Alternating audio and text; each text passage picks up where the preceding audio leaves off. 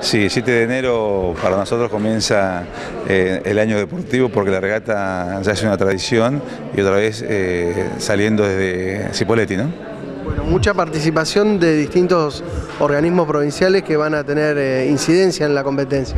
Sí, para la provincia de Río Negro es muy importante lo que ocurre dentro del río y este evento eh, lo que hace es poner en valor a nuestro Río Negro y marcar la calidad que tenemos de deportistas también, ¿no? Es el deporte más tradicional que tenemos en la provincia y que eh, a todo lo ancho de la provincia de Río Negro llega de una punta a la otra y eso es muy importante para, para la provincia de Río Negro tiene el apoyo de todos los estamentos gubernamentales y también privados para este evento que, sigo diciendo, es el más tradicional que tiene la provincia de Río Negro. Bueno, van a tener que colaborar para lo que estaban anunciando, la presencia de importantes palistas de maratón a nivel mundial y también por lo que están hablando de esto de traer, de volver un poco a las fuentes, de tratar de eh, que se armen eh, los grupos en cada uno de los lugares de llegada. Sí, cada vez más la regata del Río Negro fortalece los vínculos entre las personas y esto es el pedido que tuvimos eh, tanto a la gente de gobierno, de que formó parte, como también los organizadores, de volver al campamento que se va a lograr este año en la ciudad de Guardiamite, también con un asado, como toda la gente venía pidiendo,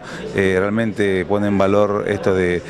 disfrutar de los conocimientos de la gente, porque también va a haber muchos invitados internacionales que están viniendo para la regata, y a esto hay que sumarle que viene alguien de Asia también, que es un japonés, que sumado al campeón mundial y a toda la gente que viene también de Hungría, va a hacer que la regata brille como lo hace todos los años. Eh, por otra parte, cuénteme dónde van a estar el fin de semana, en las grutas, eh, una importante recorrida. Sí, eh, ahorita más vamos a estar yendo hacia las grutas para recorrer los espacios de juego de los